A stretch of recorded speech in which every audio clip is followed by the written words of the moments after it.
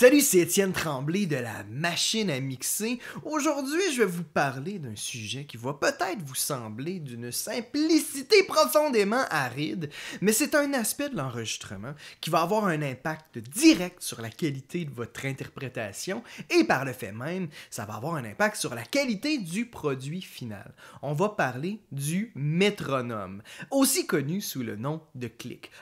Que vous vous dites, ben là, le métronome, voyons, on met ça quand il y a le temps d'enregistrer puis that's it, là, ça tient le tempo, puis that's it. Euh, si vous dites ça, ben, je vous encourage doublement à m'écouter pendant un petit moment parce que je peux vous garantir que je vais vous sauver beaucoup de mots de tête et je vais améliorer d'un minimum de 12,7% la qualité de vos productions. Bon, ok, le 12,7%, c'est peut-être un petit peu de la bullshit, mais je peux quand même vous garantir que vous allez avoir plus de plaisir, puis vous allez avoir des meilleurs résultats. On va parler premièrement de l'erreur numéro 1, euh, qui est le manque de préparation. Généralement, les bands vont en pratique trouver les tempos. On écrit ça sur une feuille de papier, on met ça dans un tiroir. Quand vient le temps d'enregistrer, on ressort les tempos, on prépare les sessions, puis on commence l'enregistrement.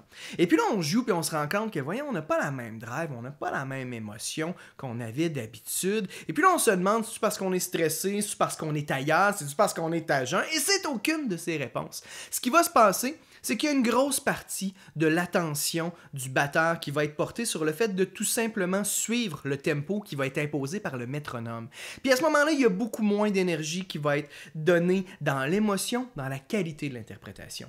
Pour régler ce problème-là, vous devez vous préparer en avance. Moi, je vous suggère un minimum de trois pratiques avec le métronome, avec les tempos qui vont être déterminés à l'avance. Et puis c'est pas tout le band qui est obligé d'avoir le métronome. Vous pouvez tout simplement euh, donner le métronome dans des écouteurs au batteur et au moins avoir un deux semaines, trois pratiques pour pratiquer avec les tempos que vous avez déterminés. Qu'est-ce qui va se passer? C'est qu'à ce moment-là, le tempo va être assimilé par la mémoire à moyen puis à long terme, et puis va être à un niveau beaucoup plus subconscient, ce qui va laisser justement, ça va libérer la mémoire vive pour justement l'interprétation, l'émotion. Le cerveau, la mémoire, a besoin justement du sommeil pour pouvoir consolider ces nouvelles connexions-là qui ont été créées et pour justement assimiler cette information-là. Et ça va justement devenir beaucoup plus machinal. Vous allez pouvoir vous laisser beaucoup plus aller dans justement votre interprétation. Si vous faites ça la journée même, ça va créer à ce moment-là plus de problèmes. Votre cerveau n'a pas eu ce temps-là pour assimiler ces tempos-là.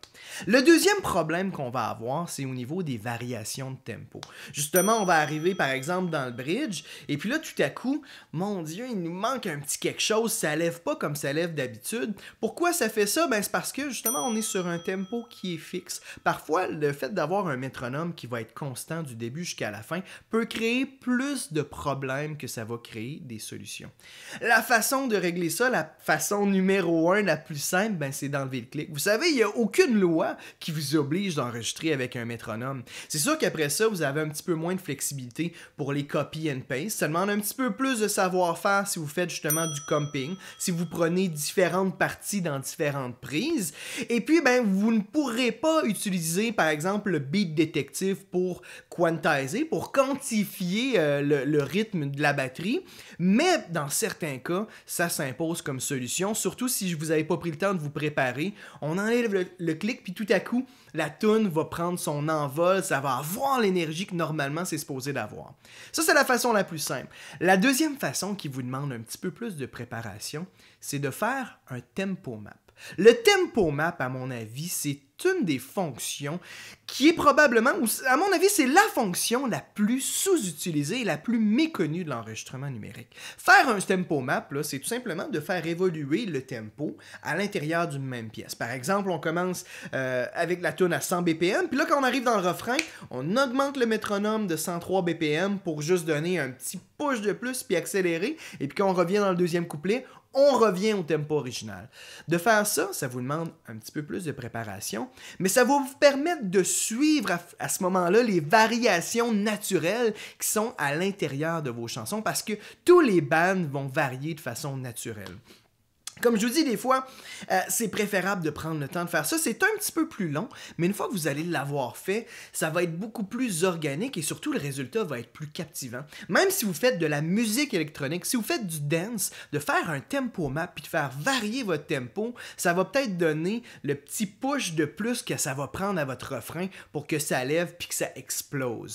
Fait que je vous encourage fortement à trouver selon votre plateforme comment faire un tempo map. C'est vraiment important. Moi, je vais vous faire une capsule sur comment faire un tempo map sur Pro Tools. Et une fois que vous avez trouvé justement, puis que vous maîtrisez la façon comment faire un tempo map, et, et que ça ne devient plus une corvée, ça va grandement améliorer votre niveau de préparation. Les résultats vont être plus organiques. L'auditeur, la personne qui va écouter aussi la chanson va être beaucoup plus captivé parce que ça va bouger, ça va évoluer.